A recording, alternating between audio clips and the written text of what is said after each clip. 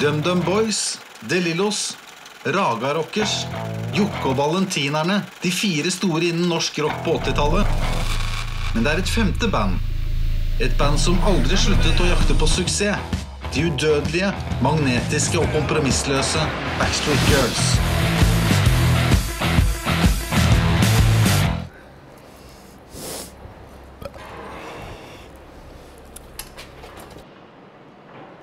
Jeg lever jo av å spille i Backstreet Girls. Jeg har jo ikke gjort noe annet. 372, min favorittsuite på New York Plaza.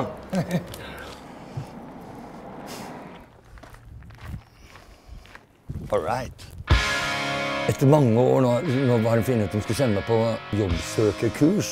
Dæven, hva var det de lurte meg til nå, liksom? Fucking hell! Men jeg syns det er kjipt som faen, for å være helt ærlig. Hallo, sjef. Ja. Nei, Det er en kompis som uh, jobber i et lite tacostudio borte i gamlebyen. Jeg holder på med en ny sånn rock'n'roll-general. Det er ikke noen distinksjon i verden som ser sånn ut, da. For at du har bare De har ikke så mange striper, men de skal gjøre den ferdig. da, Få fram skallen skikkelig og sånn. Hadde du lighter? Ja?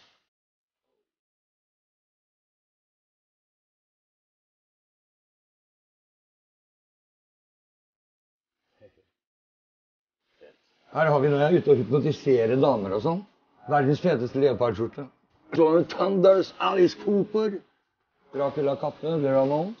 Her er sovekoven. Litt avslørende inn der nå. Vive rock. Hver gang jeg fikk tilbud om fast jobb, så slutta jeg med en gang. i tilfelle Backstreet skulle på noe. Sånn er det bare. Bjørn er min beste venn. Drar flest damer. Alle, i hvert fall 60-åringer jeg vet om. Nei, ikke 60. Fem, er det 50-åringer? 50 pluss. Ja, ja, ikke sant? Petter og jeg er som et uh, supergammelt ektepar som er venner. Ikke sant? Så mye som hvem man er og hva man digger. Liksom. Og, og, og høre energien er ikke alle som gjør.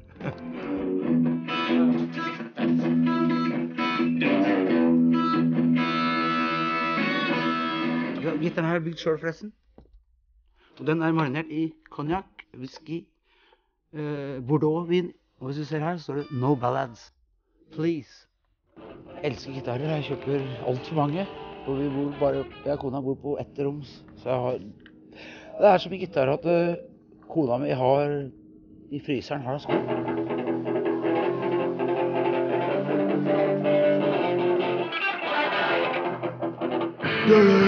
Ikke sant? Hallo, gitt. Hallo, da. Godt å se deg. Jo, det er helt greit. Foran eh, Foran du, da. OK.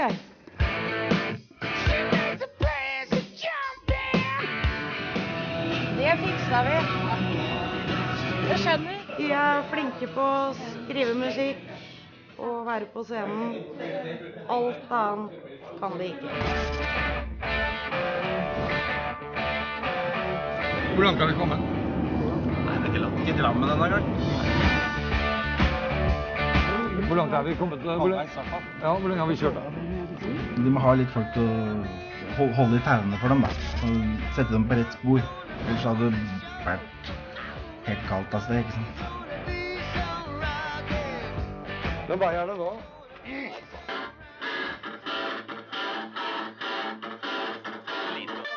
Nydelig, Peder. Jeg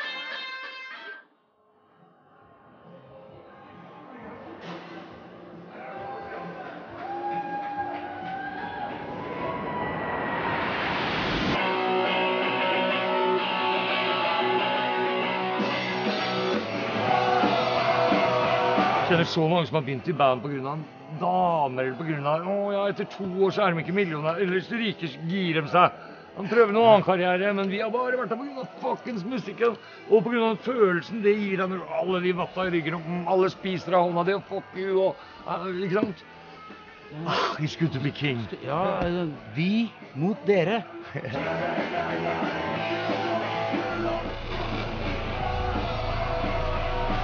Og så svetter vi på scenen.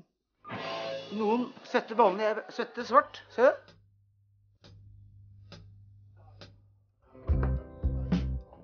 Fy Fader, etter å stå der, så du fansen.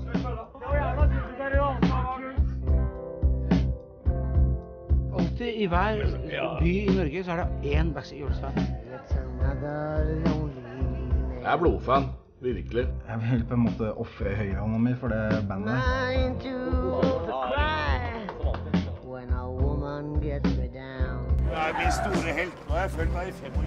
Når vi kommer til byen, så er det julaften og bursdag og alt på dere. Takk for en bra konsert. Takk skal du ha. Og uh, keep up the good work. Takk skal du ha. Ha det. Sånn er det i hver lille by, altså. Det er det kult. Så bor sikkert langt fanevoll på bondegård eller hva faen. Så får de gå og henge seg i låven eller noe. Og høre på det isteden.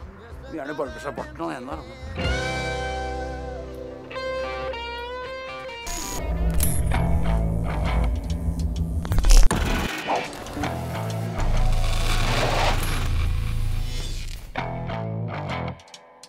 Backstreet Girls er det kuleste bandet i verden fordi Backstreet Girls står stille, resten av verden går rundt.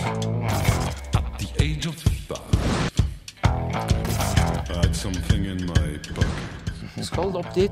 Nå er vi så langt fra. Vi har et knallalbum. Maks tolv låter. Ti. Bang, bang, bang. Du må spille. Hva faen skal du ellers gjøre? Åh, man skal vite hva man brenner for.